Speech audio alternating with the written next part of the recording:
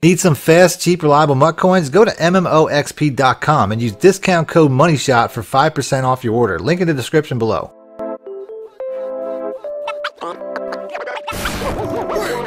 Welcome back, YouTubers and Madden fans. This is Madden Money Shot, sniffing another Madden cheese as always. Got some plays for you today out of the Buccaneers playbook. About a week ago, maybe a little longer, I put out the full breakdown of this playbook. And uh, this, along with the Broncos, the Panthers, uh, these are some playbooks that I've been pushing pretty much all year that are some of my favorite playbooks. I would say that as far as a passing playbook goes, Buccaneers are definitely top five, and it's all about this formation here, the gun tight. It also has uh, a really popular formation in the split close uh, which a lot of people use. Um, I'm not. I haven't really touched on that formation too much. If you want to see me touch on that formation next, do me a favor, hit the like button, and let me know in the comment section. But for sure, today's video is going to be about the gun tight. So what I'm going to do is I'm going to start off. I'm going to show only passing plays today, only explosive home run touchdowns from this playbook from this formation. And quite a few of these you can probably find in other playbooks. A lot of them in different names. Like the Buck seams is also called the PA shot seams. Uh, the PA Bucks cross is in a lot of different playbooks with a slightly altered name. Uh, typically the uh, the team playbook that it's in, and that's the play that I'm going to start with today. The PA Bucks cross. This is something that is very unique and beat a lot of defenses. We're going to start off.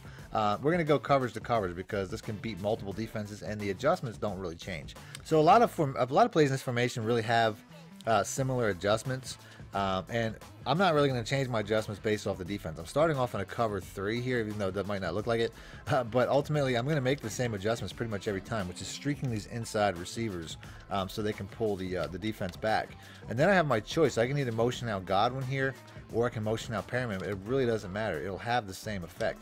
I typically like to motion out um, the wire out though because against man coverages that's going to help. So what I'm going to do is I'm going to motion snap him half the time, and you can see. I mean, this just creates an ungodly seam over the top. I, I really like. I prefer cover three beaters that don't cross the field. Like the old way to do it used to be crossing the field. But you can see the the point of certain routes will really pull the cover three cornerbacks uh, down and, and, play with them in a way that other routes won't do. And this one here, you can see how all the movement it's making is really making the, this cover three outside cornerback hesitate.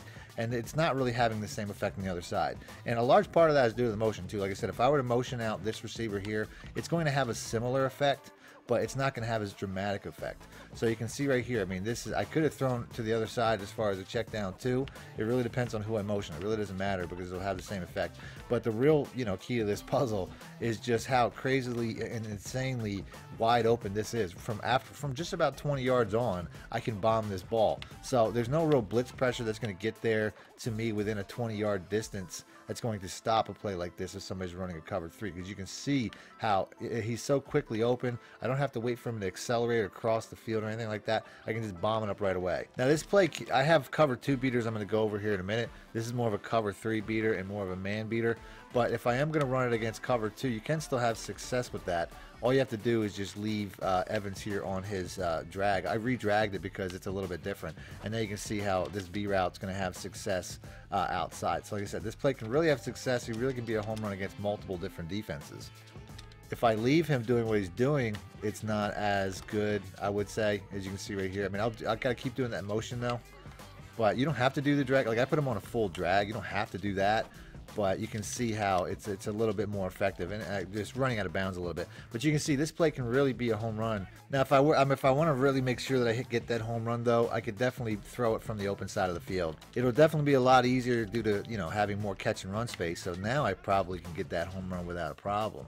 So here we go one more time, hitting that B route, just waiting for him to turn up. Not sure if I have the speed, but eh, we'll call it a touchdown. Might have been, you know, what I mean, might have been down to once. Let's move on to the next defense. So, in a cover two man, before I move on from this play, uh, cover one man, it'll work the same. I don't recommend running this against a cover zero. If it's a cover zero, a man blitz, I mean, you're just going to want to drag players and hit drags on a, if you if you come out in this play. But if it's a cover two or a cover one, like I said, doesn't really matter. Streak these inside guys one more time. Block your running back, and then I'm going to basically motion snap this guy right here. Go ahead, wait. I want to snap him before he gets outside that 50 because you can see if you're watching this uh, cornerback here, I, I kind of safeguarded as, as I ran out of space. But if you're watching that cornerback there, that route really does a dirty job on man coverage cornerbacks. It won't if the cornerback gets his hands on the receiver. So like I said, I'm motion snapping before he gets to the 50. Now he's got inside release. You can see how this cornerback just bites to the inside. I think that's Josh Jackson. I think it's one of their faster corners and better corners. Um, if I'm not, yeah, no, actually, it's Bradberry. Still pretty decent corner, but either way. So he bites on the inside. Most cornerbacks will. And then if I just time to throw, I'm, I'm leading outside. Now, if I'd have turned up a little bit, I probably could have got more. I'm not going to say this is going to be a home run necessarily, unless it's a cover one. If it's a cover one man, it's going to be a home run because there's no safety over the top. The safety won't be there, and I can catch and run it. But um, you can see how it's going to, you know, it's going to be very successful all day against that play. And the reason that you don't want to let him stop is because watch how this how this uh, this cornerback gets his hands on him and redirects the route. That won't happen in man coverage one. Actually, he gets away with it there. Sometimes he'll get his hands on him and he'll stay with him. It's not 100% when he gets his hands on him. I'll go ahead and I'll see if I can get that look. But a lot of times this guy will will get his hands on him like right here. You see he's got that's perfect leverage. He's probably going to be all over that. So like I said, you don't want to let him get that get that leverage and get hands on the receiver. You have to snap it before that happens. Like I said, that's man cover one a lot of times you can take that up the sideline with no problem. So the next play um, that I use quite a bit, once again, is the buck seams. Like I said, PA shot seams. It's got different names in it. Uh, but we're to go, we're going to pick this one right here. And then we're going to go ahead and to go coverage to coverage once again. This time we're going to start off with cover two. Because that last play wasn't as good a cover two play as this one is going to be. So this play can be run a, a couple different ways um, against cover two, especially, which is what I'm in now. Um, but it really depends on like where you are on the field. Like I can do a couple different things. I can try to isolate Baldwin's route, uh, which is probably one of the easier ways to do it because both ways to beat this defense is going to be outside, whether it's Perriman or whether it's going to be Baldwin. Um, ultimately, if I want to, I can either motion across one of these receivers and uh, put him on a streak. Once he's in a bunch, I'm just going to put him on a streak, and then I want to put the X route here on a flat. So I have my choice. I could either do that with the receiver, or I could even do it with the running back. If you want uh, to have an extra route, you can always put the running back on a streak, motion him across one time, and then once you motion him again, he's going to go into that same spot and slot. So it's really up to you um, if you want the extra pass protection or not. Obviously, a lot of times the extra pass protection is going to be helpful. Uh, but if you're really trying to attack vertically, you can do this because the B route a lot of times will still have success. And then you can see right here, I mean, I passed a little bit too much outside. That's why I was saying it really matters where you are on the field before you start to play. So if I want to, you know, wherever I want to attack, I typically want to make sure I'm from, you know, the furthest hash mark as possible. So, like I said right here, if I want extra protection, for sending a little bit extra heat, uh, I could always block, um, you know, block the RB route, have the same look, uh, and then I can, you know, I'm going to have success with this outside route. Like I said, I don't have to wait too long once again before I'm just basically rat catching and turning up the sideline. So, really easy play against cover two if I want to run it that way. I can also flip the play and have success uh, with the other route, with the uh, with the the wheel route there uh, by doing the same thing, motioning him out, uh, putting these inside guys on streaks. In this scenario, putting the B route on a drag would make the most sense because it'll help to pull that cornerback down before he gets too deep on the X route. As You can see he's going to have to react to that. And then you have this outside look. Now, once again, running out of bounds is going to be an issue because of the pass lead.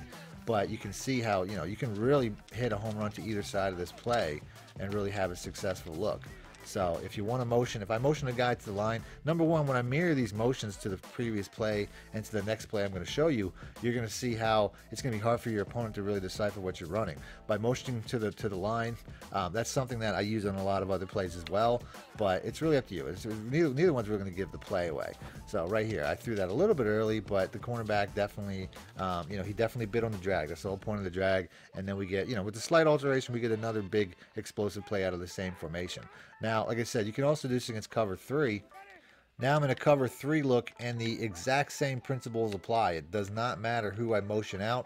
I typically want to try to work the side where the receiver is though. So motioning him out so that he can basically pull that cover three cornerback out with that same, you know, it's not, it's not as dramatic as a window as the first play. You can see because it's a little bit more basic. What the route he's running is a little bit more basic, and it doesn't pull that cover three cornerback down the same way um, that the previous uh, route does. You can see right there, the cornerback doesn't bite nearly as hard, but it's still there. You know I mean? It's still got the window. So if you find yourself in this play and it's a cover three, you can have a very similar uh, look as you did the first play.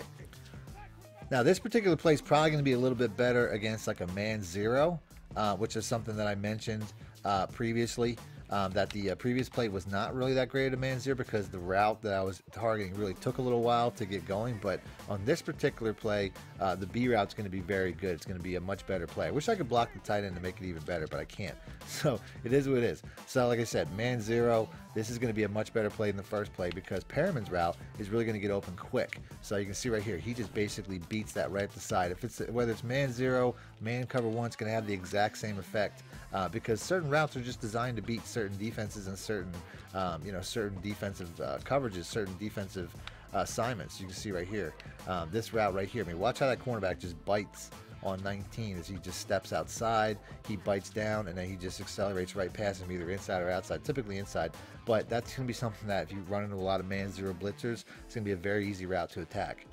So to recap one more time, um, you know, like I said, these two plays beat just about every defense in the game. I already showed you how this beats cover two, cover three, home runs both times, uh, man coverages, cover two especially, uh, and then I showed you how, um, you know, this next play here uh, beats cover three, cover two. It beats, um, you know, cover cover zero, cover one. I didn't show, but it'll do the exact same thing. So you really can beat just about any defense in the game using just these two plays which is why I said, like, to me, they're two of the best plays in the game. And this is definitely one of the best formations in the game. So if you want to see more plays of this, because I definitely have more, do me a favor, let me know in the comment section, hit the like button, and I'll do that next.